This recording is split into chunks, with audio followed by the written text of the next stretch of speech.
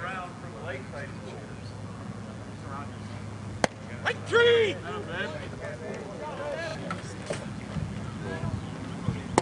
Hey! Yeah,